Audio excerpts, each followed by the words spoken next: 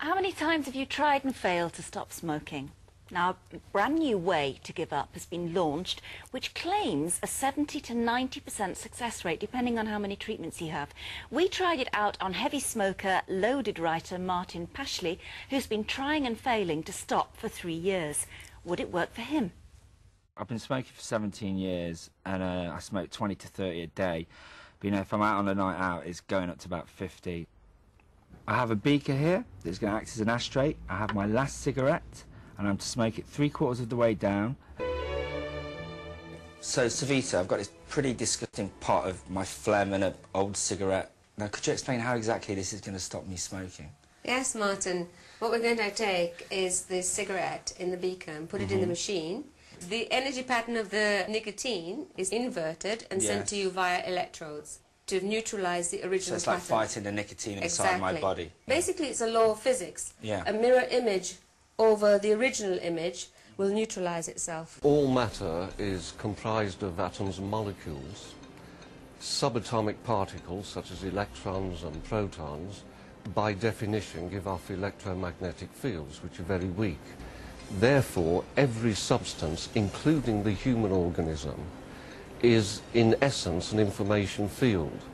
If the information fields get disturbed uh, through toxicity, through the remnants of disease and so forth, then there's a repatterning of the um, information in the body, and the body starts to adapt to that new patterning, which is why we get things like drug cravings or chronic illness.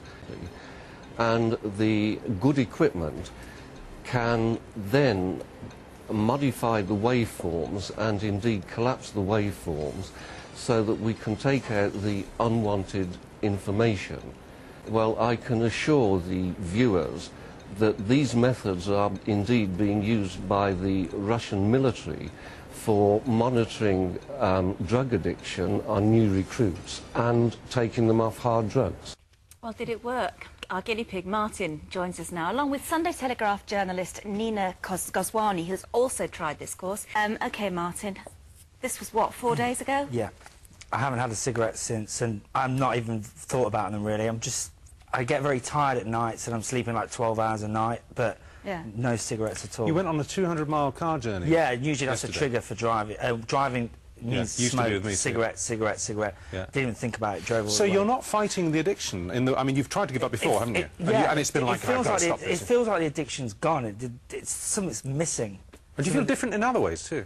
Um, yeah, I feel a lot more healthy, a lot more want to run around, and but it's definitely feels like the addiction before. You know, when you take nicotine gum and stuff like that, it's like fighting a monkey on your back. It, it just feels like it's just been taken away Switched from me. off. Switched off totally. Well, if, I mean, if it's true that there is a 70 to 90 percent success rate, it would, you, in terms of nicotine patches and gum, um, they they prove uh, they're proven to um, only ha- have a six percent chance of succeeding. So this is this is really massive. Yeah, whole and you're both journalists, right? Yeah. And you did this with an invest. You wanted to give up smoking, but and Yeah. as you have done for many years, but you wanted to, to approach this with an investigative approach Uh-huh. uh, as personal guinea pigs. And you're absolutely without question that it's it, that this is brand new. You've never had this experience before when you've tried to give up. Are you thinking about smoking at all, or is No, it an I've, absence from? uh, it's been a month as of today, Yeah. and I haven't wanted once to pick up a cigarette. Well, this is extraordinary, isn't it? So much so, Savita, that we were, we were kind of, we thought, oh no, this is just, you know, wishful thinking, positive suggestion, that Yeah. kind of thing. But we, we checked up with a, with a, a major expert It's Alasdair- Alasdair who Philips. explained to us um, He's head of how Powerwatch, exactly it works. Well, he's Alasdair Philips. He's head of Powerwatch, Yeah. um, which is an independent organisation with a central role in ec- electromagnetic field and microwave radiation research and the health debate. And he said, well, yeah, it looks to me as if it works. He also said that, that we ought to check out its, its effects on children with eczema, with, it's having remarkable And results. allergies. And allergies. It's The clinic here says its results have been impressive. On a bad day, building contractor Graham Goddard would get through 40 cigarettes. He had the treatment a month ago. I don't mind people around me smoking, and I don't sort of drift into that, like, oh, that smells good, like some smokers do. And I'd love to try that, but I know I can't. But just, I just don't get that feeling at all. You don't even want a cigarette? No. I don't even want a cigarette, no.